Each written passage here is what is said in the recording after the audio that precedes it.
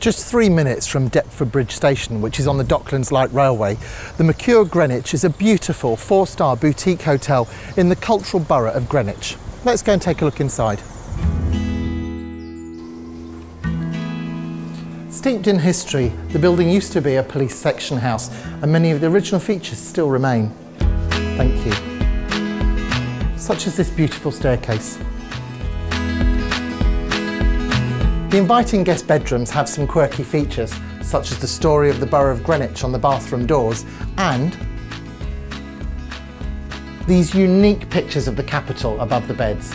But for the very best views in London, head up to the viewing deck where you can experience breathtaking panoramic views of the skyline, including the London Eye, the Shard, and over there, Canary Wharf.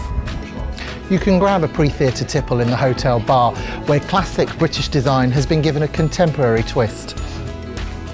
Or if you're feeling peckish, you can head down this spiral staircase to the Oasis 01 restaurant for your bite to eat.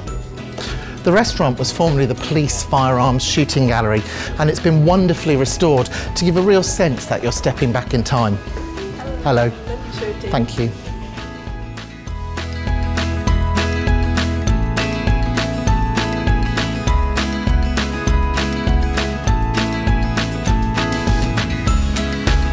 The seasonal menu boasts a number of mouth-watering dishes which have all been made from the freshest of locally sourced ingredients. And don't forget your breakfast is also served down here and that's included in every theatre break. So make sure you start your day right by filling up on the full English or continental buffet.